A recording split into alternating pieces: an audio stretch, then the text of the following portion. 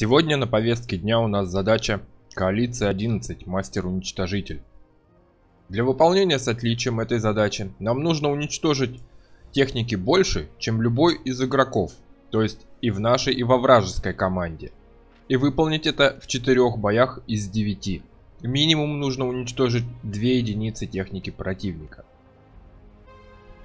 Под задачи коалиции у нас подходят танки из ветки Франции, Чехословакии, Швеции и Италии.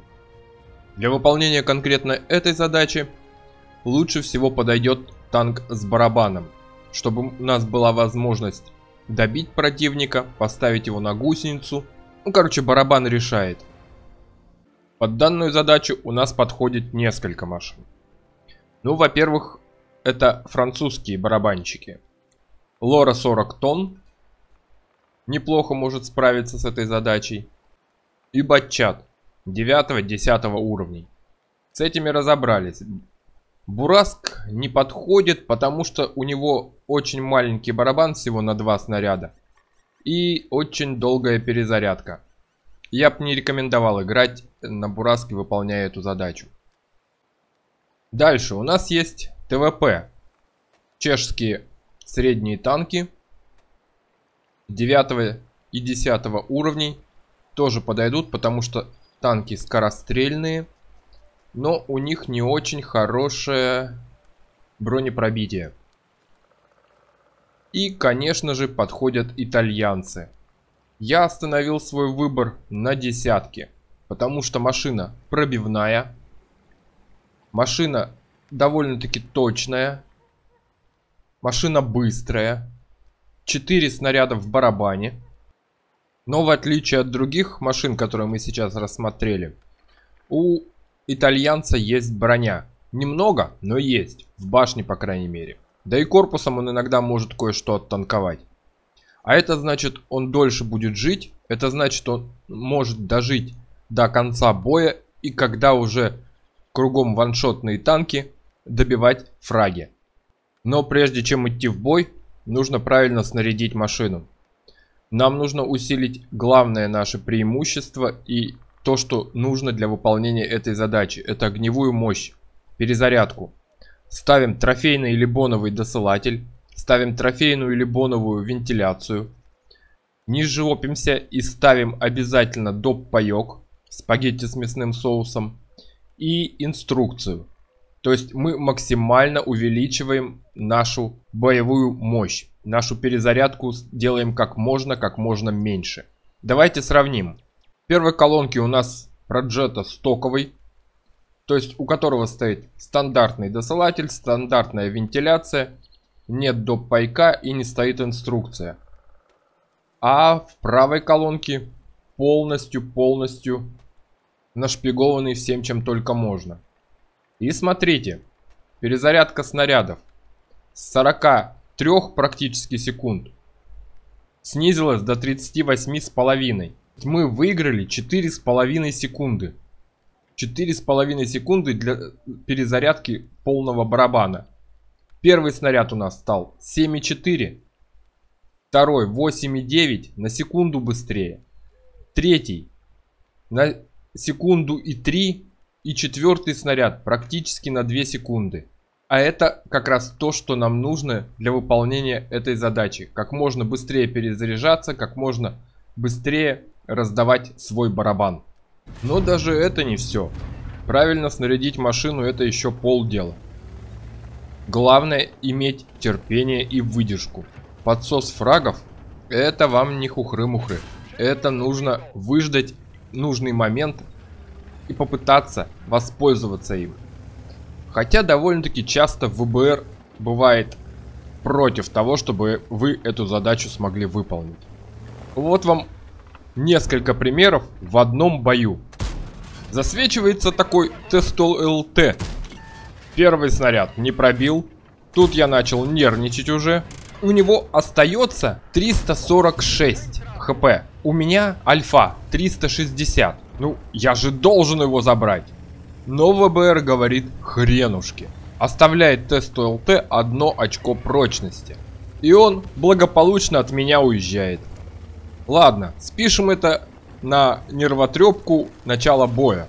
Не пристрелялся, скажем так. Вот еще одна ситуация в том же бою. Светится бабах. Сводимся. Первый снаряд зашел. Второй зашел. Третий зашел. 140 осталось.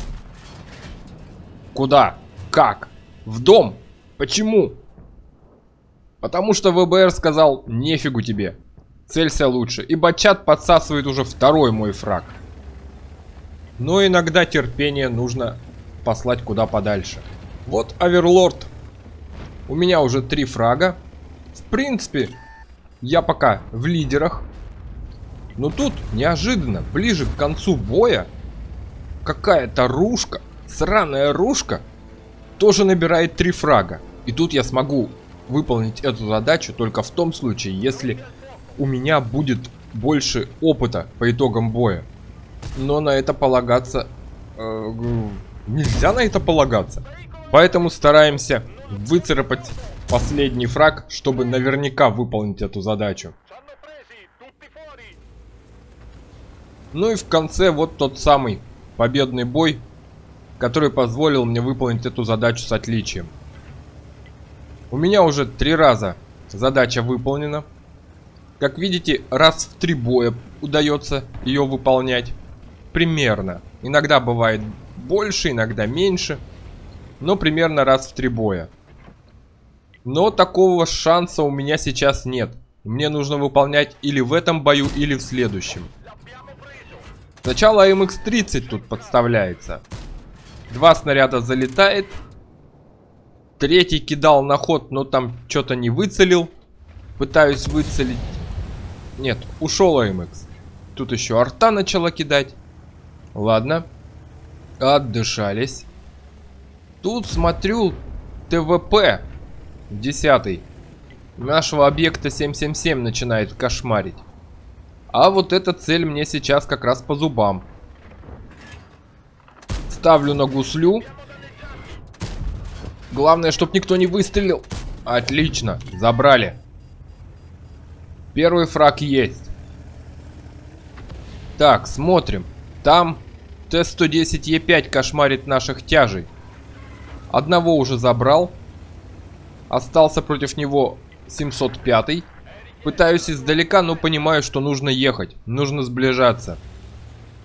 Тут еще арта немножко помогла. Остается у него 500 с небольшим. То есть мне на два выстрела. Аккуратненько подъезжаем. Первый снаряд в борт башни зашел. Потом в корпус пытаюсь, не пробиваю. Пытаюсь выцелить шишечку командирскую. Нет. Успокоился чуть-чуть. Пытаюсь лучше выцелить. Снова нервничаю. Это нервы уже. Плюю. Думаю, фиг с подкалиберами надо кумули заряжать. А Е5 совершает ошибку. Становится так, что его башня под таким углом, что я его фугасом мог пробить. Ну, естественно, забираю. Второй фраг. Где-то недалеко тут объект 257. Его еще арта раздамажила. У него остается меньше 500 очков. Мне на два выстрела.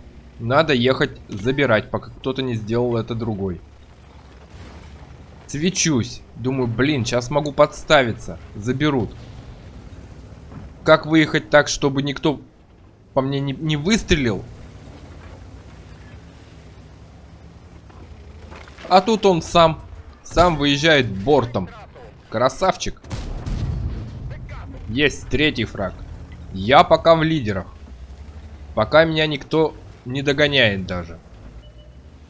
Немножко отдышался. Перезарядился. Думаю, куда ехать? На вражескую базу? Или на нашу? Ну, на нашей там полно народа. Я думаю, справится. Решаю ехать кошмарить арту. Мне хотя бы одного еще забрать для верности. Тут смотрю, вражеский AMX 50B уже два фрага сделал. А он ведь может сделать и 3, и 4. Он тоже барабанный.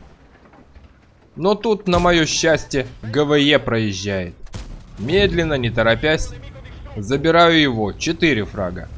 Вот теперь догони меня, АМХ. Но для верности лучше еще один. Или два. Где-то тут еще должна быть арта. Вон, едет батчат. Один выстрел успеваю дать, и он уезжает за горочку. Ладно. Этого испугали, надо искать следующего. Т-30 где-то здесь. Интересно, поехал он сюда или не поехал? О, еще одна арта. Надо ее забирать. И тут Т-30 появляется. Он ко мне ехал, оказывается. Блин, и получаю на 760. Ставлю его на гуслю, но он чинится, блин. Остается один снаряд, но я его не заберу. Жду, может арта поможет. Арта пытается. Пытается, но получается у нее, как всегда, не особо. Две арты выстрелили, и все равно он для меня не ваншотный. Пытаюсь как-то выцелить, но тут главное не подставиться. Он стреляет, промахивается. Я беру автозахват. Первый выстрел. Блин. Пушка не довернулась. И в этот момент арта меня забрала. И тут, конечно, союзная арта начинает всех добивать. Вот когда не надо, они стреляют четко и метко. Ну ладно, в любом случае задача выполнена с отличием. Надеюсь, вам было интересно. И хоть как-то мой рассказ поможет вам также выполнить эту задачу с отличием.